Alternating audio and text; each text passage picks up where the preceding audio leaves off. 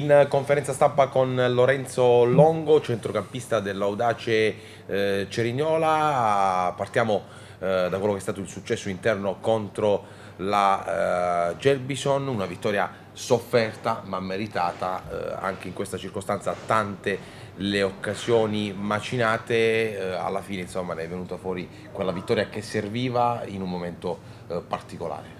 Sì, come hai detto tu, domenica è stata una, una vittoria importantissima. È stata una vittoria importantissima perché eh, ha mosso la classifica, venivamo da un periodo nero, eh, per ora l'importante è continuare a dare continuità perché ora ci servono solo vittorie per eh, recuperare punti sul Bitonto che in questo momento è prima in classifica.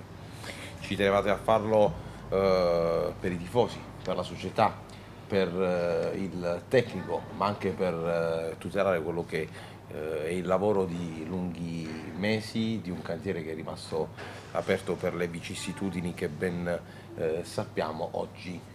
Finalmente si ha l'organico al completo e si può guardare con più fiducia e attenzione al futuro. Sì, sicuramente i nostri obiettivi, gli obiettivi della società e anche della tifoseria non cambiano, noi puntiamo a fare un campionato di vertice, puntiamo a vincerlo, perché sappiamo tutti che la società è ambiziosa, però ti ho detto non possiamo più permetterci in questo momento del campionato passi falsi, dobbiamo continuare eh, a fare vittorie come, come, quella di domenica e ora ci aspetta una trasferta insidiosa che, che il campo di Altamura è un campo insidioso, anche l'anno scorso abbiamo fatto fatica però abbiamo portato a casa i tre punti.